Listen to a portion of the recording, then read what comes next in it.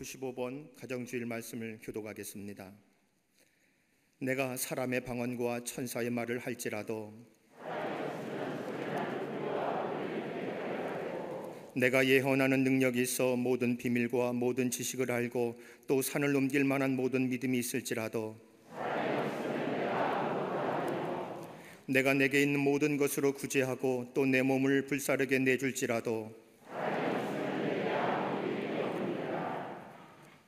사랑은 오래 참고 사랑은 온유하며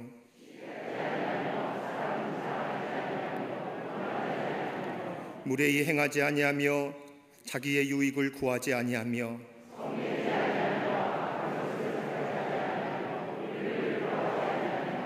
진리와 함께 기뻐하고 모든 것을 참으며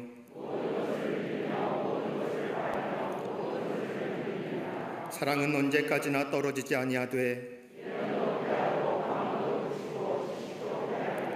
그런즉 믿음, 소망, 사랑 이 세 가지는 항상 있을 것인데 그 중에 제일은 사랑이라. 아멘.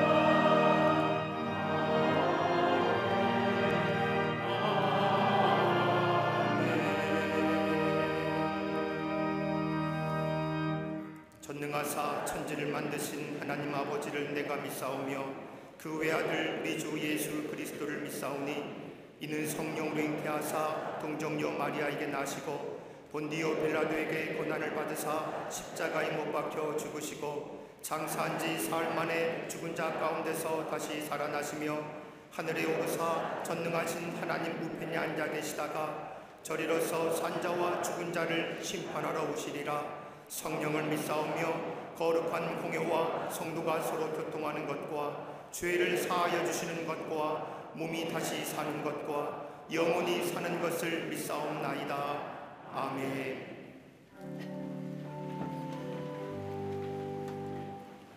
모든 만물의 주인이 되시는 하나님, 거룩한 주의 날 세상의 모든 짐을 벗어버리고 예배의 자리에 나와 창조주 하나님을 기억하며 예배하게 하시니 감사합니다. 사람 사는 땅에서는 언제나 눈물과 한숨 그치지 않지만 수고하고 무거운 짐진 자 주님 품으로 오라 하시기에 그 말씀 의지하며 십자가 앞에 섰습니다. 예수의 옷자락을 만지기만 해도 열두의 묵은 병이 나으리라 믿었던 그 여인의 믿음을 오늘 우리에게 허락해 주시옵소서. 예배를 통해 병들어 있는 심령들 치유하여 주시고 죄악으로 더럽혀진 우리의 모든 삶을 보혈의 피로 정결케 하여 주시옵소서. 어둠 가운데 세계 열방의 빛이 되어 주신 하나님, 코로나 바이러스라는 긴 어둠의 터널을 지나고 있습니다.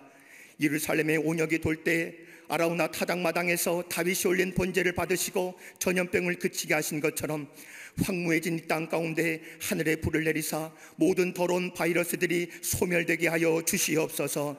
어둡고 불안한 사회 속에서 험한 풍랑에 시달리던 뱃사람이 항구에 이르러 닻을 내리듯 주님의 사랑 안에 모든 국민들이 마음을 내려놓게 하여 주시옵소서. 역사의 주인이신 하나님, 이 민족의 이단과 우상 숭배, 음란과 동성애, 탐욕과 교만한 이기심의 모습을 돌아보며 엎드려 회개하게 하시고 오늘도 대한민국의 역사의 수라바퀴를 주장하사 이 사회의 모든 윤리가 말씀의 거울에 조금도 다름이 없이 비춰지는 금수강산이 되게 하여 주시옵소서. 이 나라한 분열과 갈등, 시기와 다툼이 사라지게 하시며 하나님의 지혜와 능력을 구하는 겸손한 백성들, 하나님의 공법과 정의 앞에 서 있는 모든 위정자들이 되게 하여 주시옵소서. 이 나라의 경제와 정치, 교육과 문화, 외교와 안보, 이 민족의 운명을 주님께서 주관하사 절망으로부터 희망의 날개를 달아 주옵시고 엄습한 고통 속에서 비상하는 대한민국이 되게 하여 주시옵소서. 저 종토의 땅 북한을 극률히 여겨주시고 저 나라가 다시 하나님의 나라가 되게 하여 주시옵소서. 공산 정권이 무너지게 하시고 평화 통일을 이루어 하보자 하나님 파괴된 교회들이 다시 일어서게 하여 주시옵소서. 교회의 머리가 되신 하나님 이 땅의 교회들이 사랑의 실학과 화평과 성령으로 하나 되게 하신 것을 심서 지키게 하여 주시옵소서 예수 그리스도의 부활을 증거하며 하나님의 영원한 나라를 이 땅의 교회들이 보여주게 하여 주시옵소서 그 사명을 위해 67년 전 광림의 재단을 세우시고 세상의 어둠을 참된 빛으로 이기며 복음 전하며 세상의 평화를 선포하는 교회로 세워 주심에 감사합니다. 이 민족 가운데 광림의 재단 세상의 빛과 소금의 역할을 다하게 하시고 소망을 잃은 자에게 참된 소망을 전하며 하나님의 살아계심을 증거하는 광림의 재단으로 삼아 주시옵소서. 세우신 임원들과 온 성도들이 미혹과 혼란, 거짓과 변질이 가득한 이 세대에 진리의 횃불을 높이 들게 하시고 매주일 성전에 올라와 주님께 예비함이 있어서 마음에 거리낌이 없게 하시고 위축됨이 없게 하시며 하나님을 예비하고 부어주신 은혜를 누리게 하여 주시옵소서. 광림의 모든 속회와 선교회가 열심으로 모이게 힘쓰게 하시고 모든 부서와 기관마다 하나님의 놀라운 부흥의 은혜가 임하게 하여 주시옵소서. 20만 명의 영혼 구원과 1천 선교회 5천 속회의 비전으로 속히 이루어지게 하여 주시옵소서. 광림의 모든 성도들의 가정과 기업마다 함께 하시길 원합니다. 코로나 바이러스로 인해 묶여진 두려움과 어둠의 그림자가 모든 가정들에게서 떠나가게 하시고 풍랑과 바람에 시달리는 제자들에게 난이 두려워하지 말라 하셨던 주님의 음성을 들려 주시옵소서. 하나님 사랑과 이웃 사랑 실천하기 위해 광림의 온 성도들 선한 소비 운동과 온라인 선교 바제회가 펼쳐지고 있습니다. 광림의 선한 나눔 운동을 통해 부활의 생명력과 예수 사랑을 전함으로 이 시대의 아픔의 회복과 화목의 마중물로 쓰임 받게 하여 주시옵소서. 이 시간 믿음의 요람인 교회학교와 청년 선교국 청정년부가 이기적이고 음란해져가는 시대 속에서 진리의 말씀으로 양육되어 주님 앞에서 삶의 의미와 목적을 발견하게 하시고 믿음의 선한 영향력을 끼치는 거룩한 일꾼으로 세워지게 하여 주시옵소서. 오직 주님의 뜻과 통치에만 순종하며 주님께서 주시는 탁월한 영성과 냉철한 지성과 올바른 역사의식으로 무장하여 많은 사람을 살리는 주의 사명을 감당하게 하여 주시옵소서. 또한 광림의 재단을 통해 이루어가는 러시아 블라디보스톡 비전 센터가 온 성도들의 헌신과 기도로 봉헌되어지는 순간까지 하나님의 영광이 되게 하여 주시옵소서. 일평생 주님을 위해 헌신하신 감독님, 영국의 요한 웨슬레와 같이 가시는 곳마다 복음의 역사와 하나님의 영광이 증거되게 하심을 감사합니다. 감독님 날마다 신혼의 강건함을 도하여 주옵시고 감독님 기도하시는 자리마다 성령의 역사가 나타나게 하여 주시옵소서.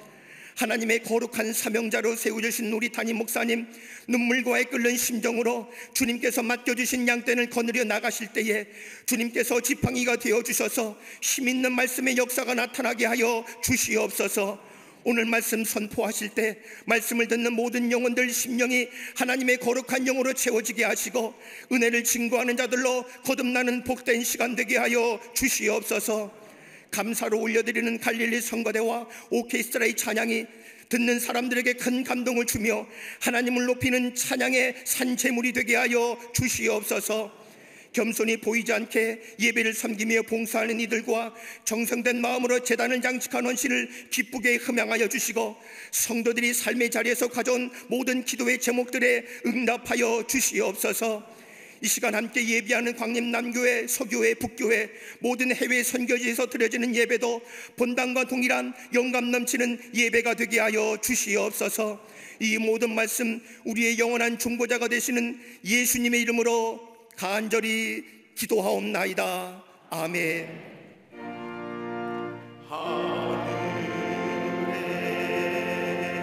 하늘에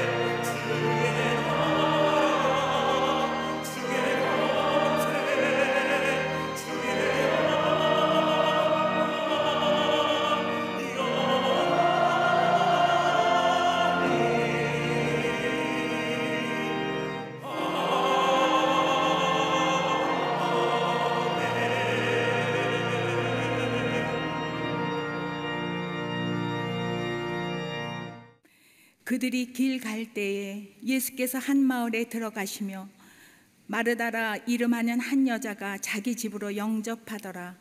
그에게 마리아라 하는 동생이 있어 주의 발치에 앉아 그의 말씀을 듣더니 마르다는 준비하는 일이 많아 마음이 분주한지라 예수께 나아가 이르되 주여 내 동생이 나 혼자 일하게 두는 것을 생각하지 아니하시나이까 그를 명하사 나를 도와주라 하소서.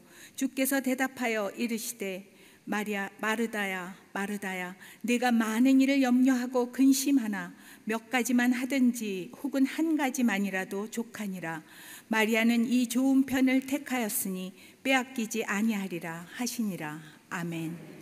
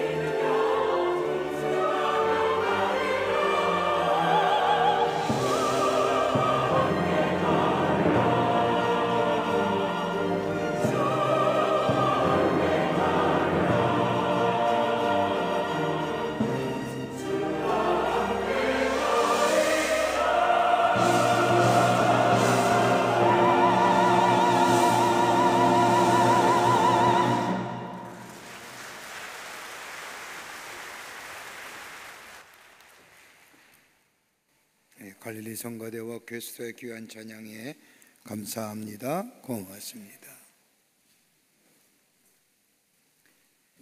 1883년 5월 미국 뉴욕항에 뉴욕항이 생긴 대로 가장 많은 인파들이 몰려들었습니다.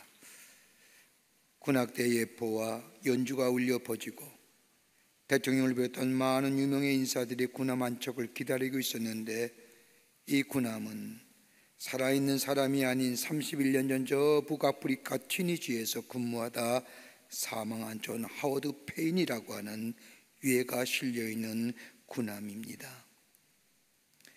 존 하워드 페인이란 사람은 위대하거나 살아있는 인물이나 대단한 사람은 아니었습니다. 평범한 사람이요. 작가에 불과했던 그 사람. 31년 전에 죽은 사람의 유해가 오는데 그렇게 수많은 사람들이 인파를 모여든 것은 그가 전 시 한 편. 정정을 인하여 남편과 아들의 전쟁터에 나가 죽음으로 인하여 가정이 무너지고 깨어진 그때에 그가 전시한 편으로 인하여 인생을 살면서 가장 소중한 것이 무엇인가를 일깨워 주었던 그가 지은 시 때문이었습니다. 그가 지은 시는 우리가 잘 알고 있는 Home, Home, Sweet Home이라는 시입니다. 잘 알 겁니다. 여러분들도. 즐거운 곳에서는 날 오라 하여도 내 쉴 곳은 작은 집 내 집뿐이니 내 나라 내 기쁨 내 길이 쉴 곳도 꽃피고 새 우는 집 내 집뿐이니 오 사랑 나의 집 즐거운 나의 벗 집 내 집뿐이니 이 시 한 구절은 이 땅을 살아가면서 가장 소중한 것이 무엇인가를 일깨워 주었던 시 한 편이 되었던 것을 보게 됩니다. 많은 사람들에게 묻습니다. 인생을 살면서 가장 중요한 것과 소중한 것이 무엇입니까? 물을 때에 모든 사람이 공통적으로 대답한 것이 있다고 한다면 가정입니다. 라고 대답합니다. 가정이 행복해야 된다고 말합니다. 여러분, 가정이 어떤 것입니까? 가정은 우리 인생의 시작되는 것이고 배움의 장소이고 성장하는 자리이며 더 나아가 우리 인생의 마지막을 보내는 장소입니다. 그러기에 가정은 우리 인생의 행복과 불행, 더 나아가 성공과 실패의 가장 중요한 요소일 뿐만 아니라 우리의 자녀들에게도 가장 큰 영향을 미치는 아주, 아주 소중한 장소가 바로 가정입니다. 가정이 행복해야 되고 가정이 회복되어야 된다는 사실은 다 알지만 실상 우리의 가정은 그렇지 못함을 봅니다. 꿈꿨던 가정, 생각했던 가정은 원치 않은 여러 가지 일들로 인하여 무너지고 깨뜨려질 뿐만 아니라 위기와 어려움을 겪으면서 가정의 아픔이 개인의 아픔으로 그치는 것이 아니라 사회의 아픔으로 더 나아가 나라의 위기로 이어지는 것을 보게 됩니다. 혹자는 가정의 행복이 물질의 풍요로움을 누리며 원하는 대로 다 이루어질 뿐만 아니라 하나님이신 자녀들이 다 잘 되는 것 이런 것이 가정의 행복이라고 이야기할진 모르지만 그러나 가만히 우리의 가정을 들여다보면 이것이 우리 가정의 진실한 행복이 아님을 깨닫습니다. 진실한 행복은 하나님 우리 가정 우리에게 주신 이 가정 속에서 사랑을 배우고 더 나아가 다른 사람을 이해하는 이해력을 배려의 마음을 배울 뿐만 아니라 인내와 더불어 인격이 되어지는 장소 그래서 사랑과 기쁨이 넘치는 장소. 저의 가정 이야기보다 마르다와 마리아의 이야기로 더 알려진 말씀이 오늘 본문의 말씀입니다. 오늘 본문의 말씀을 가만히 읽어보면 이 나사로의 가정 세상의 기준으로 보면 그렇게 행복한 가정은 아닙니다. 전후의 말씀이나 요한복음에 나타난 말씀을 가만히 읽어보면 이 나사로의 가정 부모에 관한 말씀이 없으면 없는 것을 보면 아마 일찍 부모를 여인 가정이고 제 남매가 살았음에도 불구하고 결혼에 관한 이야기가 없는 게면 아직도 결혼하지 못한 가정이고 그러기에 어려서부터 부모님을 여의고 삼남매가 서로 의지하며 살아왔음을 추정할 수가 있습니다. 여러분 부모 없는 가정 지지자와 없고 그리고 의지할 데 없는 새 남매가 세상 살아간다는 것 그렇게 넉넉지 않을 겁니다. 그렇지 오늘 본문의 말씀은 우리에게 깨어지고 부서진 가정이라 할지라도 하나님이 만지시면 치유하시고 회복되어 복된 가정이 될 뿐만 아니라 많은 사람들에게 기쁨을 주는 과정. 그리고 그 가정 속에 안에 기쁨과 행복일 뿐만 아니라 하나님의 놀라운 역사를 체험하며 증거하는 정말로 하나님의 사명을 감당하는 가정이 되는 것. 여러분, 우리 내 가정, 위기와 어려움을 당하면서 가정의 존재가 흔들 뿐만 아니라 내 삶의 위기로 이어지는 우리의 가정들, 어떻게 하면 치유되고 회복될 뿐만 아니라 하나님의 살아계심을 증거하며 하나님 주신 축복을 누리며 증거하는 가정의 모습으로 세움받을 수 있을까요? 편안하신지요, 가정은 다? 별 문제 없으세요? 우리 모두가 하나님의 은혜 안에서 온전히 치유받는 회복되어지는 그런 놀라운 은혜가 있기를 간절히 소망합니다. 첫째는 예수를 섬기는 가정입니다. 오늘 누가 본 10장 38절 말씀을 보십시오. 그들의 길 갈 때 예수께서 한 마을에 들어가심에 마르다라는 이름하는 한 여자가 자기 집으로 영접하더라. 마르다가 예수님과 예수님의 제자들을 자신의 집으로 초청했다는 겁니다. 어떤 연유인지 모르지만은 길 가시던 예수님과 제자들을 자신의 집으로 초청하여 정성껏 대접했다는 겁니다. 예수님을 자신의 가정으로 모셨다는 거예요. 여러분 우리의 문화를 보면 다른 사람을 우리의 가정으로 초청할 때는 몇 가지 이유가 있어서 초청합니다. 하나는 뭐냐? 내가 감사하고픈 사람이 있을 때 초청하지 않습니까? 또 나의 이익에 관련된 사람들 또 하나 이유가 있다면 나의 필요를 채워줄 사람이 있으면 가정에 초청하여 정석껏 섬깁니다. 그런데 이 섬김도요 우리 집의 형편이 괜찮을 때만 가능하지요. 어려운데 무슨 초청합니까? 가정의 형편이 좀 나을 때에 가능할 뿐만 아니라 마음의 여유와 삶의 여유 있을 때에 다른 사람을 초청하여 섬기고 대접할 수 있습니다. 그런데 오늘 본문의 말씀에 나온 마르다의 가정 이러한 초청할 수 있는 여건과 이유가 아무것도 없습니다. 가정의 자제가 초라합니다. 어렵습니다. 그럼에도 불구하고 예수님과 제자들이 가는 모습을 보니 마르다가 예수님과 제자들을 자신의 집으로 초청하여 섬겼다는 겁니다. 여러분, 다른 사람을 초청하여 섬기는 거 즐겨하는 사람이 있지만 대부분의 사람이 별로 원치 않지요. 그런데 성경 말씀을 가만히 보면 하나님의 사람들, 하나님께서 축복한 사람들을 가만히 보면 다른 사람을 초청하여 섬기는 사람들에게 하나님께서 하늘의 복을 허락하신 것을 보게 됩니다. 그 대표적인 말씀이 창세기 18장에 나오는 아브라함이 대접한 나그네 이야기입니다. 뜨거운 대학빛에 나무 밑에서 쉬고 있던 아브라함 눈에 세 사람이 그 대학빛을 맞추며 걸어가는 모습을 봅니다. 그들을 자기의 집으로 초대하여 정성껏 최선을 대하여 대하여 정성껏 대접합니다. 그럴 때에 부지 중에 천사를 대접함으로 놀라운 축복을 받습니다. 이삭이 얻게 될 것이라고 하는 예언과 더불어 하나님의 축복을 받게 됩니다. 섬김은 이런 놀라운 역사를 경험하게 됩니다. 그런데 오늘 마르다와 그녀의 가정이 예수님과 제들을 초청하여 섬겼다는 겁니다. 근데 이때 시간이 어떤 시간이었느냐? 예수님께서 십자가에 못 박기 전 예루살렘에 올라가신 중입니다.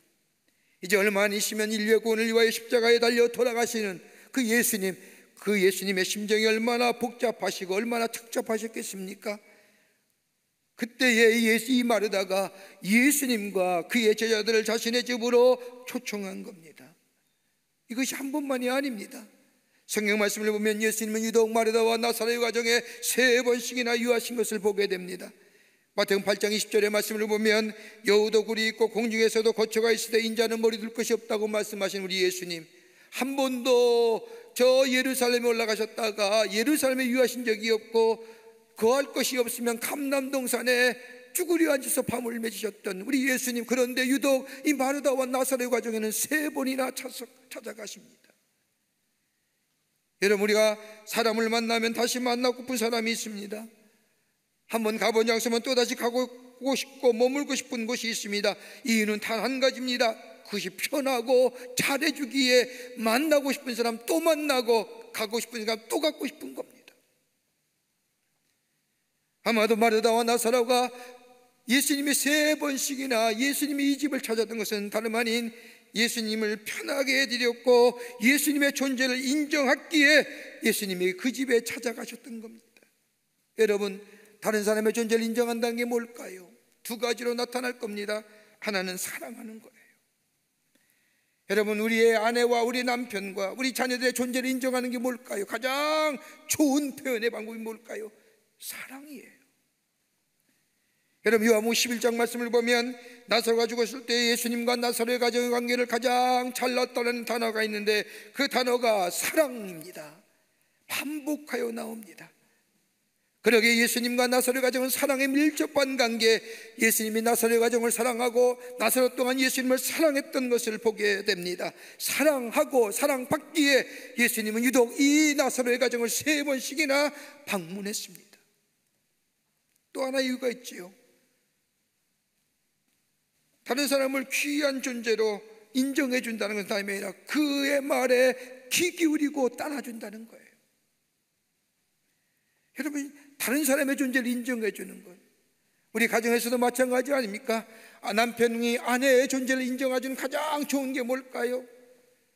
아내의 말에 귀 기울이는 거예요. 아내의 말에 귀 기울여 들어주는 거예요. 뭐 공초가 이렇게 집요 이게 아니에요. 아내의 존재를 인정하기에 남편의 존재를 인정해 주기에 남편과 아내의 말하는 것에 귀 기울이는 겁니다. 내가 하는 말 따라주는 겁니다. 그대로 믿고 행하는 겁니다. 예수님이 이 나사로의 가정을 찾아갔던 것은 다름이 아니라 예수님이 말씀하실 때에 이 나사로의 가정은 예수의 말씀을 믿고 그 말씀대로 행하였던 가정. 그러게 요한복음 11장의 말씀을 보면 나사로가 죽은 지 나흘이 지었음에도 불구하고 무덤에 돌을 가로막았던 그 돌 예수님이 치유할 때에 그 말씀을 믿고 순종했던 것처럼 예수님의 존재를 인정했던 가정이기에 예수님을 세 번씩이나 이 나사로의 가정을 방문했던 것을 봅니다. 여러분 예수님이 머물고 싶은 가정이 이런 가정입니다. 예수만 초청하여 섬기는 게 아니라 예수를 사랑하면서 예수님의 들려오는 말씀에 귀 기울일 뿐만 아니라 사랑한다는 표현한다는 것이 아니라 예수님이 우리의 구원의 주가 되실 뿐만 아니라 우리를 죽기까지 사랑하신 그 예수님의 사랑을 받아들이며 그 예수의 말씀에 순종하여 사는 가정 될 때에 그 가정에 예수가 계시는 가정이고 그 안에 기쁨이 있고 그 안에 새로운 생명의 역사가 창조되는 치유와 회복의 역사가 일어나는 아름다운 가정이 되는 줄 믿습니다. 여러분 예수님을 초청하여 섬긴다는 게 뭘까요? 사랑한다는 구체적 표현이 지금은 뭘까요? 다름이 아니라 예배하는 겁니다. 하나님 앞에 예배하는 겁니다. 예수님 앞에 예배하는 가정입니다. 주님을 사랑하는 가정의 모습일 겁니다. 말씀을 듣습니다. 그 말씀에 순종합니다. 그 말씀을 통하여 나를 바라봅니다. 예수의 말씀을 통하여 나를 생각하고 나를 바라보며 예수께 더더욱 나아가는 가정. 여기에 주님이 거하시는 가정이에요. 그 안에 비록 우리의 삶의 여정 가운데 상처나고 아픔이 있고 치유, 아픔이 있고 괴로움이 있다 할지라도 주님이 그 안에 계시기에 치유하시고 회복시키시고 새롭게 세우시는 역사가 있게 되는 줄 믿습니다. 예수 모시고 사는 가정입니다. 예수님을 초청하여 섬기는 가정. 될 때에 하나님의 치유와 회복의 역사와 새롭게 하시는 은혜가 있게 됩니다. 두 번째로는 영적인 부유함을 갖는 소유한 가정입니다. 오늘 본문의 말씀에 나오는 나사로와 마르다의 가정은 아픈 기억들이 많은 가정입니다. 성경의 말씀에 나사로와 마르다의 가정에 대한 기록은 나와 있지 않지만 예수님 당시에 세 남매가 살아간다는 거 그렇게 녹록지 않을 겁니다. 슬픔이 있는 가정이에요. 일찍 부모님을 여였기에 슬픔이 있는 가정입니다. 항상 슬픔이 머물러 있었고 외로움이 있었던 가정이고 또 하나 요한복음 11장의 말씀을 보면 두 자매가 의지했던 오라버니 나사로가 죽는 충격과 슬픔을 당합니다. 지금도 그렇지만 가장이 없는 가정 참 힘들지요. 사회적으로나 경제적으로 여러 가지 면에서 무너질 수밖에 없는 위기와 어려움. 죽은 지 나흘이 되어 냄새나는 그 오라비의 나설의 무덤 앞에서 좌절할 수밖에 없고 절망할 수밖에 없는 단순히 죽음의 무덤이 아니라 미래가 더 이상 죽는 희망 없음을 발견.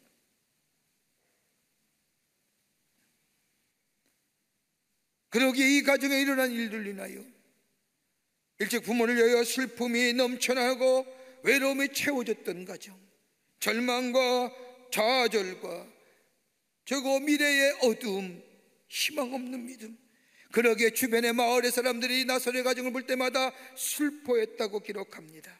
삶의 두려움과 미래의 불확실성 가운데 절망하고 좌절한 이 가정 속에 주님이 찾아오셔서 저들의 죽었던 신앙, 절망과 좌절의 자리가 아니라 미래의 불확실성의 자리가 아니라 저들의 신앙을 미래의 생명력 있는 신앙으로 바뀔 뿐만 아니라 어둠이 빛하여 빛되게 하시고 절망이 바뀌어 소망되게 하시고 외로움과 좌절이 바뀌어 기쁨의 자리로 만들었던 구원의 역사가 일어나는 다 어때요? 마르다가 예수님을 초청했기 때문입니다. 그리고 섬겼기 때문입니다. 근데 여러분 성경 말씀을 가만히 보면 마르다는 흔히들 우리가 생각하기를 그냥 예수님을 섬기며 부엌에서 일만 하는 사람으로 오해하기 쉽지만 여러분 예수님을 길 가던 예수님을 알아보고 제자들 초청했다는 그 자체만 해도 영적인 여인이요. 더 나아가 뭐예요? 균형 잡힌 여인의 신앙의 모습입니다. 오늘 성경 말씀을 보십시오. 영적으로 예수님의 말씀만 듣고 있는 것이 아니라 섬김의 모습을 보여주었습니다. 굉장한 여인입니다.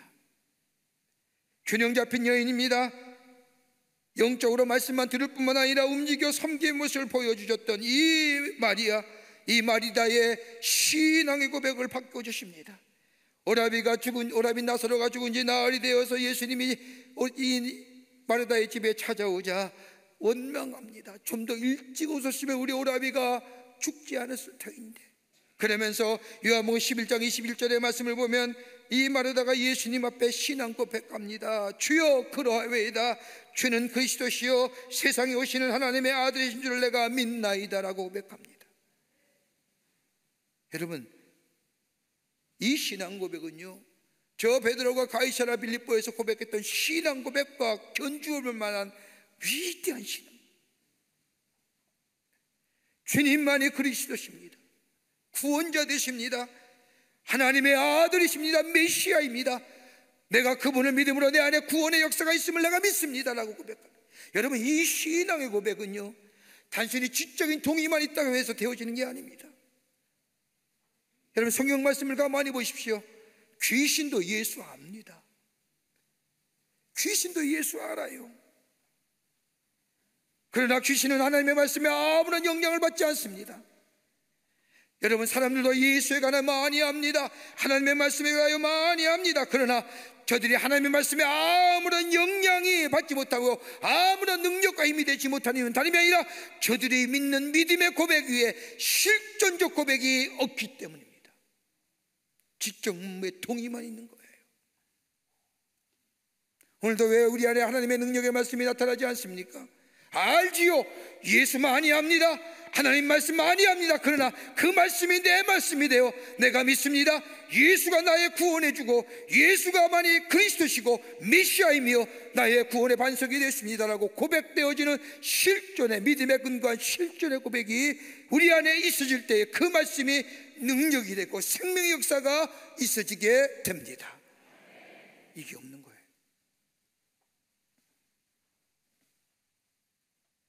믿음 위에 서서 신앙의 실존의 고백이에요. 주는 그리스도십니다. 세상에 오시는 하나님의 아들인 줄 내가 믿습니다. 내가 구원받을 죄입니다. 평범한 신앙이 아닌 생명의 신앙으로 바꾸어 주십니다. 생명력 있는 신앙으로 바꾸어 주십니다.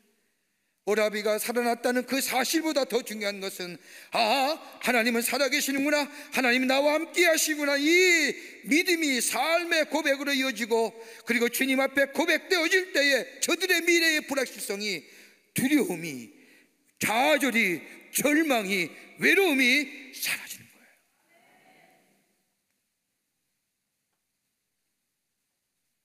우리 안에 이 고백이 있냐 말이에요. 이 영적 부유함이 있습니까? 우리 가정을 사랑하시고 우리 가정에 어려워도 하나님이 함께 하실 것이고 우리 가정에 하나님의 축복이 위해서 만들어 주셨는데 하나님의 이 어려움 가운데서 계획이 있을 것이야라고 하나님의 전능하심, 하나님의 살아계심, 하나님 나와 함께 하심 이 고백이 우리 가정에 믿음으로 고백되어지고 실제로 고백되어지는 그 믿음의 영적 부요함이 우리 가운데 있냐 말이에요.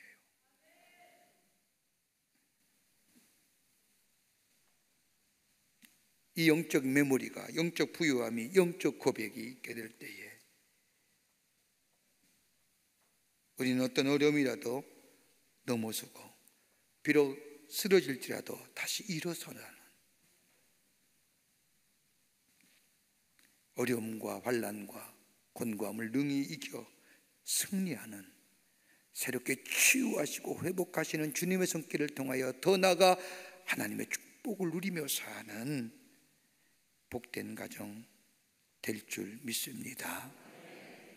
이거 가지고 사는 거예요. 우리의 가정이요. 끝으로 하나님의 거룩한 뜻을 이루어가는 가정입니다. 다른 말로 말하면 사명을 가진 가정이라는 겁니다. 한 개인에만 사명이 있는 것이 아닙니다. 하나님 우리 가정에 아름다운 남편, 아내와 멋있는 남편과 자녀 주신 것은 하나님 우리 가정에 하나님의 거룩한 뜻이 있다는 겁니다. 이 땅에서 먹고 마시며 즐기며 누리는 것이 우리 가정의 추구할 목표가 아니라 하나님 우리에게 아름다운 가정 공동체를 이루시게 하신 것은 하나님의 뜻하신 바가 있다는 겁니다.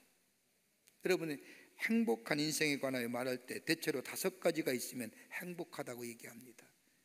뭘까요? 돈, 물질, 명예 이거 아닙니다. 하나가 뭐냐? 할 일이 있는 사람. 행복한 사람입니다. 무엇인가 할 일이 있다고 하는 사람. 여러분 여기에 열정이 있고 성취감이 있으며 성취감을 통한 기쁨이 있습니다. 여러분 피곤하다 힘이 들다고 말하지만 할 일이 없는 사람 할 일이 없는 것 없는 무료한 사람 이것처럼 불행한 사람 없습니다. 할 일이 있는 사람, 행복한 사람. 두 번째는 미래에 대한 기대감이 있는 사람입니다. 지금보다 미래가 밝을 것이라고 생각하는 사람. 비록 내가 지금의 경제는 어렵지만은 내년이면 나아질 거야. 차츰 좋아질 거야. 이 기대감 속에 사는 사람. 여러분 아무리 힘이 들고 어렵더라도 이 기대감이 없으면 못 사는 거예요. 세 번째는 사랑하는 사람이 사랑 사랑 이 있어야 합니다. 사랑 있는 사람, 사랑할 대상이 있는 사람입니다. 여러분 사랑할 대상이 있으면 행복합니다. 내 마음과 정성을 쏟아 사랑할 수 있는 무엇이 있어야 됩니다. 여러분 우리 가정의 행복의 원천이 되는 이유가 어디 있을까요? 사랑할 대상이 있는 겁니다. 누구요? 내 아내, 내 남편, 내 자녀. 신앙생활도 마찬가지지요. 왜 예수 믿으면 기뻐해야 됩니까? 왜 행복해야 됩니까? 사랑할 대상이 있잖아요. 누구요? 예수님이요. 또 하나 있다고 하는데 믿어 믿을 것이 있어야 하는 믿을 것이 있어야 합니다. 믿음의 대상이 없는 사람은 불행한 사람입니다. 여러분 흔히들 우리가 듣는 이야기인데 세상 믿을 거 없어 다 도둑놈이야 세상에 믿을 사람이 없어 여러분 이것처럼 불쌍한 사람의 고백이 어디 있습니까?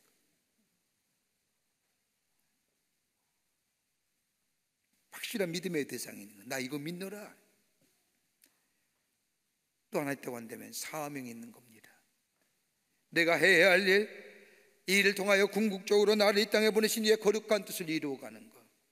내가 이 땅에 살면서 잘 먹고 잘 살고 배부르고 배 터지게 살고 다른 사람이 어떻게 되든 관심 없이 살 이게 아니라 나를 보내시고 나를 새롭게 하시고 나를 하나님의 자녀 주신 내 삶의 사명이 있음을 깨닫는 거예요. 이게 행복한 사람입니다. 이거 사라지면요 삶의 공허가 오는 거예요.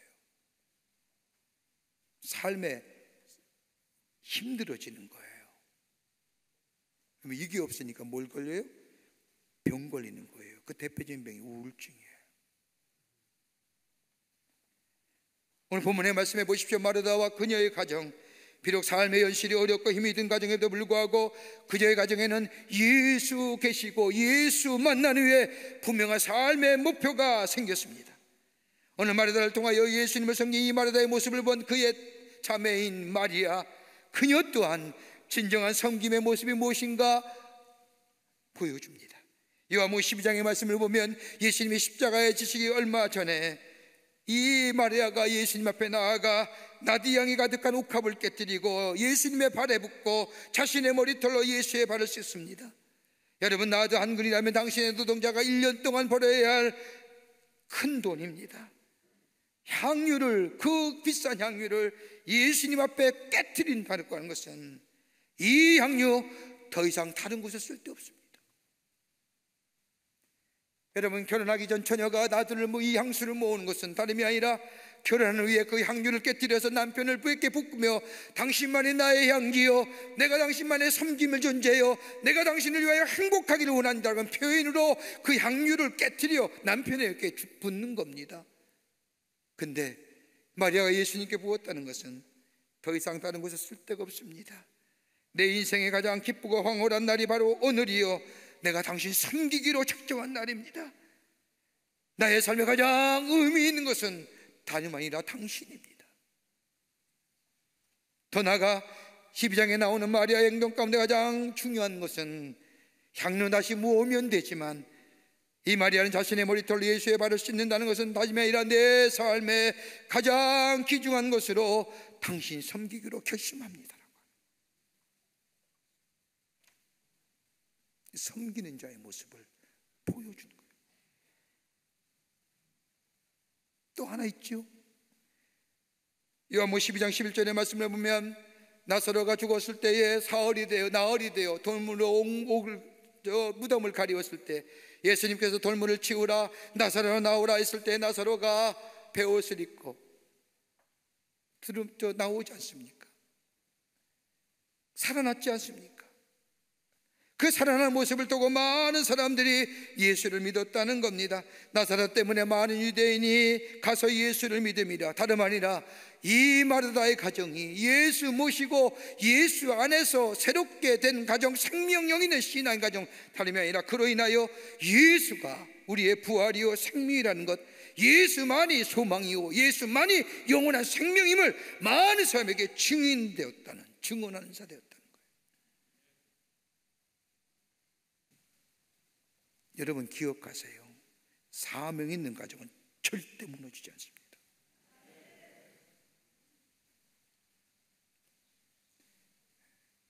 얼마 전에 한 간증, 간증의 글을 읽으면서 집사님의 간증인데 은혜 받은 글이 하나 있습니다. 집사님 아름다운 여인이었습니다.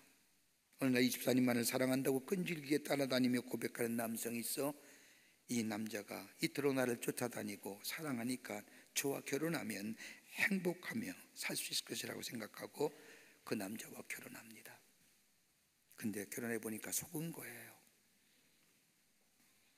빚도 많고요. 도박도 하고 술 먹고 들어오기만 하면 가끔 폭행도 합니다. 결혼 생활하면서 고통스럽게 하는 거 다 가지고 있는 겁니다. 그래서 결혼 생활에 끝을 맺으려고 이혼하기로 마음을 먹고 이혼해 가는 일들을 진행할 즈음에 이 여인의 이 집사님의 마음속에 그래도 내가 예수 믿는 사람인데 결혼할 때 기도하고 결혼했는데 내 인생에 왜 이런 일이 일어났을까? 한 번은 기도하고 그래도 남편을 위해 기도해보고 이혼하려면 하지라고 생각하고 기도하기로 정하고 시간을 정하여 남편을 위해 기도하기 시작합니다.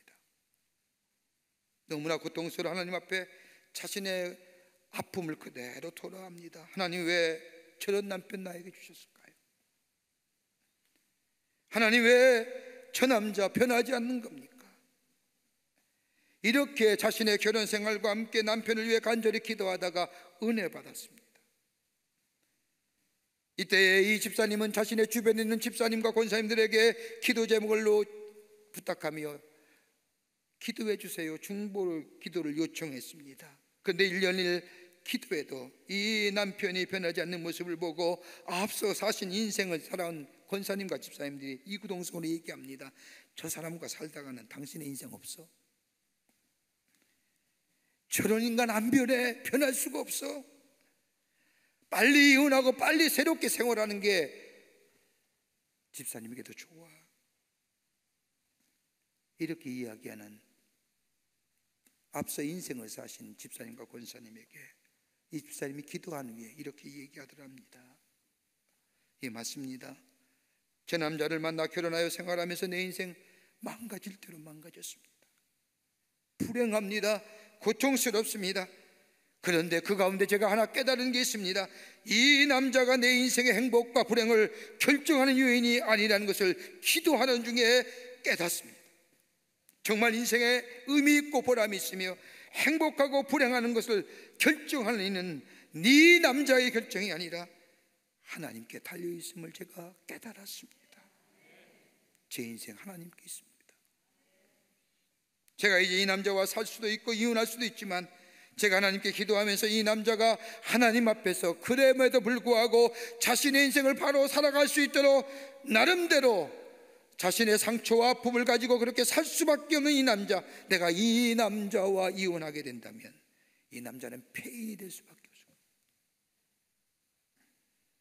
내가 하나님 앞에 사명으로 이 남자와 살아보겠습니다 얼마까지라고 말할 수는 없지만 하나님께 기도하면서 살아보겠습니다라고 말했다고 합니다 저는 이 간증을 읽으면서 우리 다 공감하는 거예요 그죠? 우리 다 그렇게 살아요. 아니라고 부정하는 사람 없을 겁니다. 여기 앉아 계신 분, 방송을 통하여 예배 드리는 분 가운데. 하나님 우리 가정에 주신 것, 우리 아내와 남편 주신 것, 아름다운 자녀 주신 것, 이 땅에 배부르고 배 터지고 풍요롭게 기름지게 살려는 게 아닙니다. 사명 있는 거예요. 하나님의 가정으로 예수 믿는 가정으로 세우신 것은 특별한 사명이 있습니다.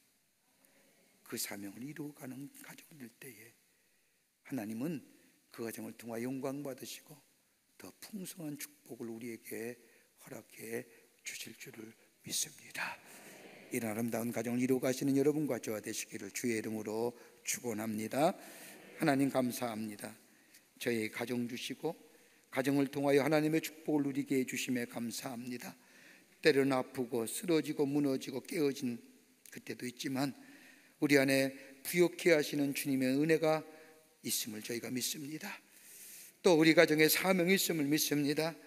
하나님 그 믿음 가지고 다시 한번 새롭게 일어나 주의 놀라운 은혜와 사랑을 증거하는 저희들의 가정의 모든 일들이 되게 하여 주시옵소서 복된 가정으로 삼아 주시옵기를 원하오면서 예수님의 이름으로 기도하옵나이다. 아멘.